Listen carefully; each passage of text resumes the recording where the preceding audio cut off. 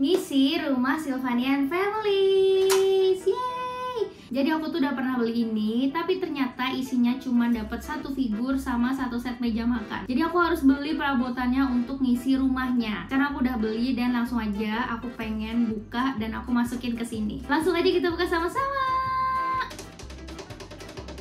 Oke, yang pertama aku bakal buka tempat tidur dia atau kasur dia. Ini harganya 159.000.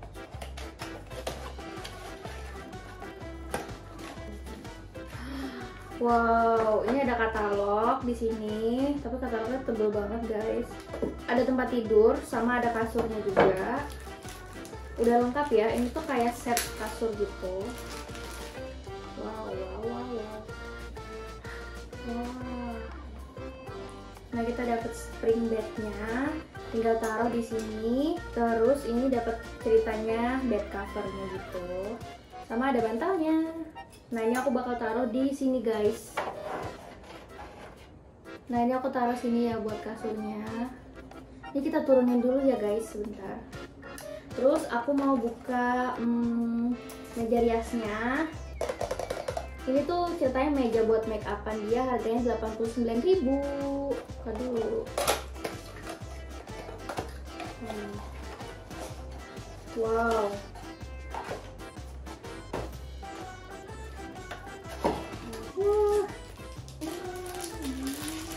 Ini kita dapat meja riasnya satu udah sama kacanya dan ini tuh kaca beneran guys. Terus dapat kursinya sama dapat satu sisir kecil. Ini aku taruh di ini sini. Kursinya juga sama sisirnya. Lucu banget sih ada katalognya juga ya. Next aku buka meja belajar ini harganya nggak ada. Harganya berapa nih? 70.000 harganya 70.000 wow wow. Ada lacinya dan lacinya bisa dibuka. Gemes banget. Ya sedetail itu guys. Oke di sini dapat meja belajarnya sama rak-raknya yang kita bisa isi sebenarnya, cuma aku belum beli isiannya. Terus dapat kursinya juga. Sama yang terakhir ini tuh dapat kayak pensil gitu sama tempat taruhan pensilnya di sini lucu banget. Kita taruh di mana ya? Bentar aku hmm, Jadinya aku taruh di sini meja belajarnya pojokan, terus meja riasnya di sini. Soalnya aku masih bakal naruh uh, TV gitu. Terus ini aku buka untuk TV-nya. Ini kayaknya tuh 100 ribuan guys, aku juga lupa harganya. Wow.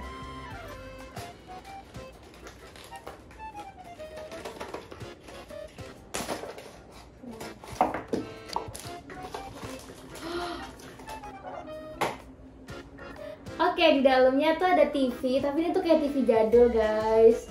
Cuman kalian harus lihat, ini bisa dinyalain, ada lampunya gitu. Nah, tinggal diputer ininya.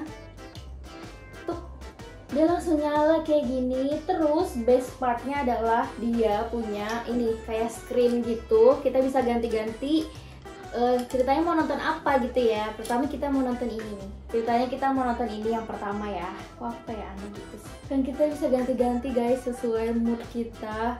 Ini ceritanya pemandangan gitu. Ceritanya pemandangan. Lucu banget. Terus yang ini ceritanya lagi piknik ya. Lucu banget.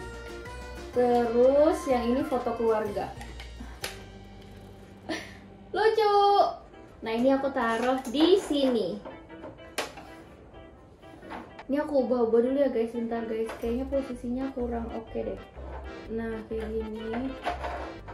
Meja belajar nah ini udah aku atur-atur biar dia terlihat lebih luas gitu. Dan ini adalah kamar tidurnya si Sylvanian Family. Nah ini udah aku atur sedemikian rupa biar dia terlihat lebih luas. Dan lantai ketiga ini tuh ceritanya kamar Sylvanian Family guys. Siapa namanya ya? Aku belum kasih nama dia. Ceritanya dia tidur di sini. Terus kita lanjut ke lantai duanya. Rencananya lantai dua ini mau aku isi sama uh, toilet sama ada hmm, mesin cuci juga. Aku bakal buka uh, bathtub. Ini ada bathtub set gitu. Ini harganya seingat aku harganya satu ini tuh nggak ada yang 200 ribuan karena dapat diskon gitu pokoknya harga sekitar 100 ribuan semuanya wow dapetnya banyak banget nih guys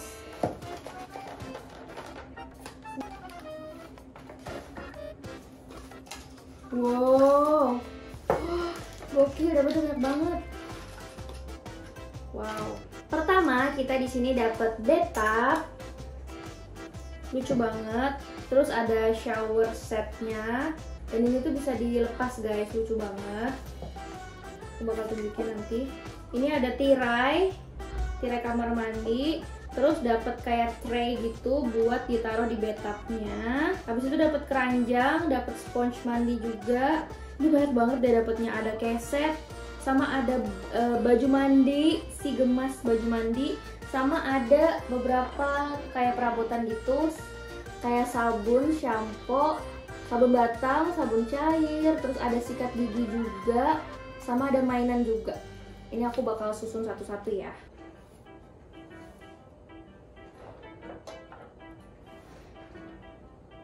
Next, aku bakal buka closet set. Ini ada uh, tempat pupinya sama ada macam-macam deh guys. Ini harganya juga nggak tahu guys, aku lupa. Ini ada banyak nih dapat banyak aksesorisnya. Uh wow keren banget. Ada stikernya juga. Oke ini udah kamar mandinya tinggal nambahin mesin cuci. Ini sebenarnya kalau nggak ada mesin cuci bisa agak digeser-geser gitu guys. Tapi karena ada mesin cuci Jadi kita harus ngasih space untuk mesin cucinya Oh ternyata mesin cucinya ada vacuum cleanernya juga guys. Kayak di sini ada mesin cuci dan ceritanya dia bisa muter kayak gini.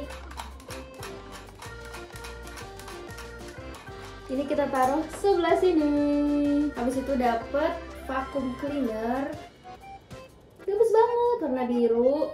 Sama dapet. Oh ini ceritanya kain yang dimasukin di mesin cucinya guys. Bentar. Oh iya bener. Lucu. Tinggal masukin aja mesin cucinya. Nah mesin matanya sangat kurang bagus ya. Ini yang terakhir di lantai bawah atau lantai dasar. Aku mau tambahin kayak meja dapur gitu buat masak sama ada kulkas. Langsung aja kita buka. Pertama yang meja dapur dulu ya ini kayaknya dapet isinya banyak banget guys. Tuh kan peralatannya banyak banget. Wow.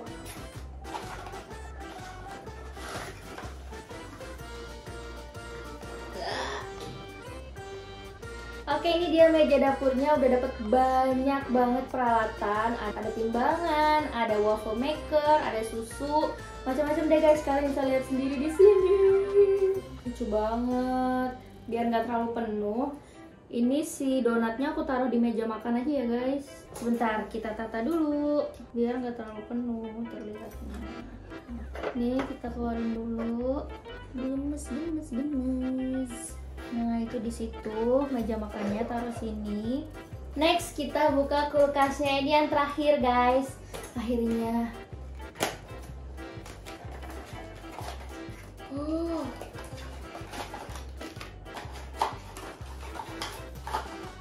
Di dalamnya dapat kulkas yang bisa dibuka. Wow lengkap banget. Nih jadi bisa dibuka kayak gini. Yang bawahnya juga bisa dibuka kayak gini. Lumayan berat loh kulkasnya. Terus ada dapet perabotan dalam kulkasnya ada makanan ada susu dan segala macamnya. Udah dapet stikernya juga yang bakal kita tempelin ke kotak susu dan lain-lain. Ini aku tempelin dulu ya guys. Oke ini dia kulkasnya. Sekarang mau aku masukin satu-satu pertama aku mau masukin susu dulu. Orange juice. Kita dulu.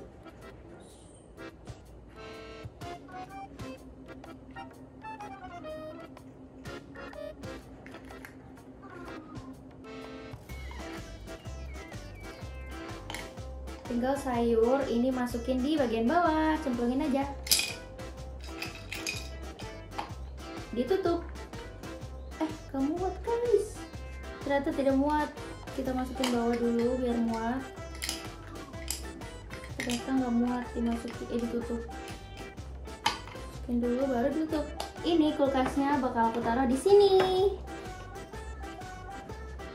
Mantap udah selesai Yeay. akhirnya rumahnya keisi guys.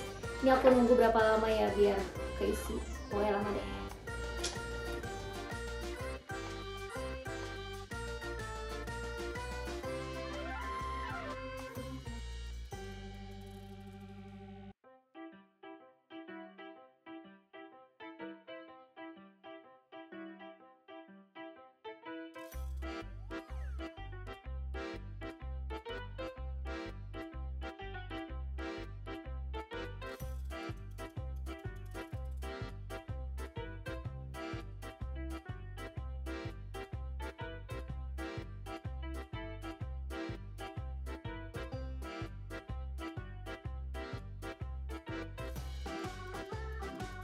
Menurut kalian gimana guys penataan rumahnya ini bagus atau enggak atau terlalu kosong kah atau terlalu penuh kah? Silahkan komen. Kalian paling suka ruangan yang keberapa? Lantai satu, lantai dua, atau lantai tiga? Kalau aku suka semua sih. Kalau kalian suka sama konten-konten aku jangan lupa subscribe dan jangan lupa juga untuk follow Instagram dan TikTok aku. Kalau kalian mau beli semuanya ini nanti linknya bakal aku taruh di description box. Makasih banyak udah nonton dan sampai ketemu di video selanjutnya. Bye.